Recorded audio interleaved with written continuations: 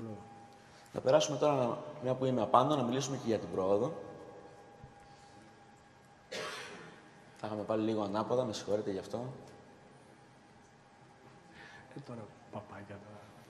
Λοιπόν, οι δύο μεγάλες μελέτες, όπως αναφέρθηκαν και προηγουμένως, ε, οι M-TOPS και οι Combat σχεδιάστηκαν καθαρά για να δείξουν εάν η συνδυασμένη θεραπεία υπερτερεί της μονοθεραπείας είτε με αλφα blocker για την M-TOPS ή δοξαζοσύνη, είτε ε, ε, για την combat ε, η τουταστερίδη με ε, την ταμψουλοζίνη, αν υπερτερεί στην πρόοδο της νόσου.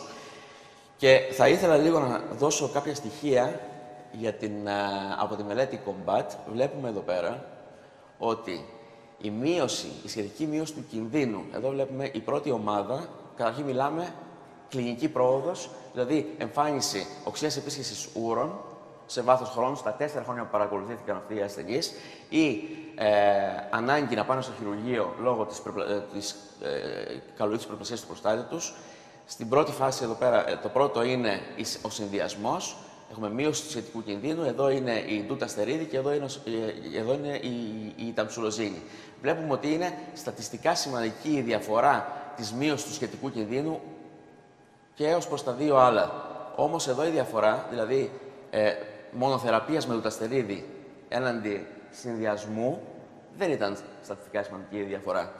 Το ίδιο ισχύει όταν ελέγχθηκαν μεμονωμένα τα πράγματα για οξύ επίσης ιούρων και έλεγχο για χειρουργείο. Και φάνηκε ότι η αθρηστική επίπτωση της εμφάνισης οξίας επίσης ούρων ή ανάγκη για χειρουργείο μέσα στον χρόνο, στου 48 μήνε της μελέτης, αρχικά ήταν στατιστικά μη σημαντική, ενώ μετά το 8 μήνο το γκρουπ της ταμψουλοσύνης μόνο πήρε την ανιούσα, ενώ οι άλλες παρέμειναν, παρέμειναν ε, να μην είναι ε, σημαντικές οι διαφορές τους.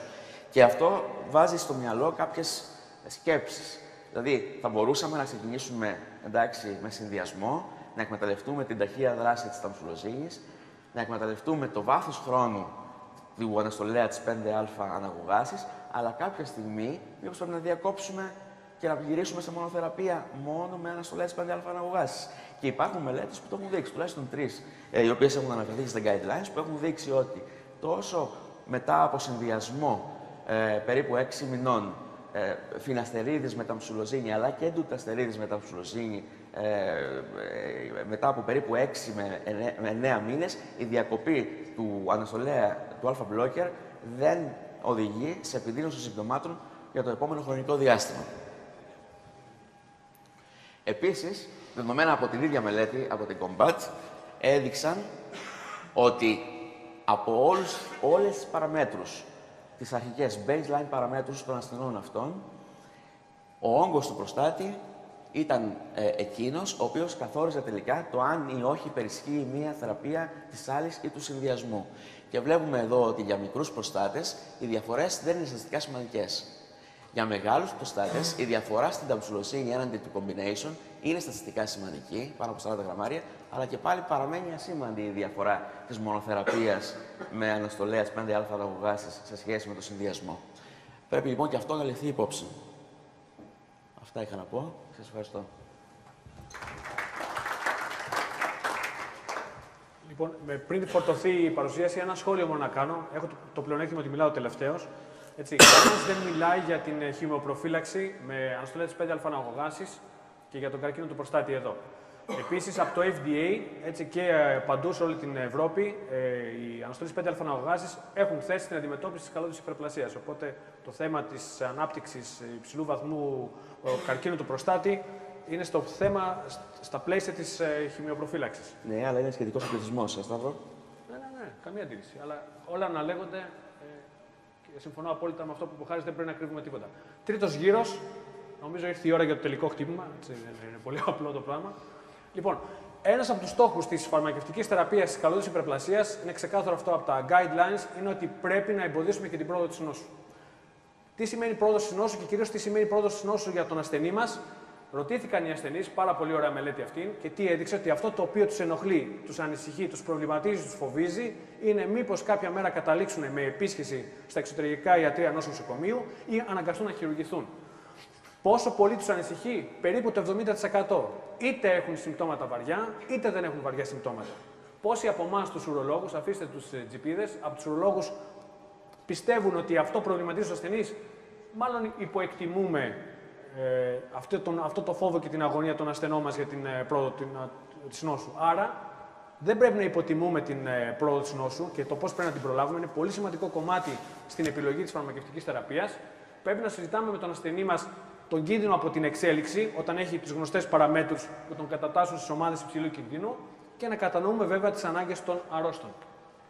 Αλφα blockers, όσον αφορά το θέμα της επίσχυσης και, της, ε, και του κινδύνου ε, ανάγκης για χειρουργική επέμβαση, τα πράγματα είναι ξεκάθαρα. Είναι αυτή η μελέτη, η ΑΛΤΕΣ. Ουσιαστικά μηδενική είναι η, η συνεισφορά τους στην πρόληψη της νόσου. Είναι ακριβώς το επίπεδο του πλασέμπου.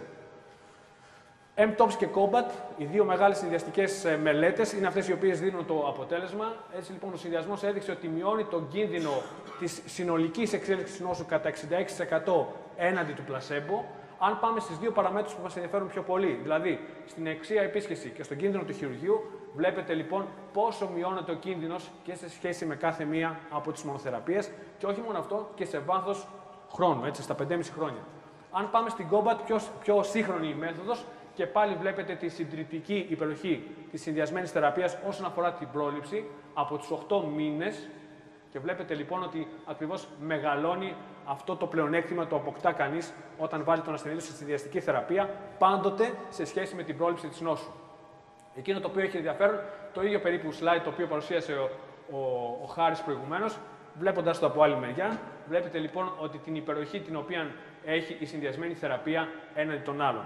Και για να κλείσω, να μην σας κουράζουμε και προς επίρρωση όσων είπαμε, τα πράγματα είναι ξεκάθαρα. Και αν θέλετε να καταλήξουμε πέρα από την ξυφομαχία και σε ένα consensus, ότι και τα τρία guidelines, και τα ευρωπαϊκά, και τα αμερικάνικα, και τα NICE, τα, ε, τα βρετανικά δηλαδή guidelines, ουσιαστικά συνιστούν ότι η συνδυαστική θεραπεία πρέπει να δίνεται σε ασθενείς οι οποίοι έχουν διωγγωμένο προστάτη, 30 γραμμάρια για τους ε, Εγγλέζους, 40 για τις ευρωπαϊκές ε, ε, γραμμές, διωγγωμένους γενικά για τους Αμερικανούς ή έχουν ένα PSA πάνω από 1,5. Σας ευχαριστώ πάρα πολύ.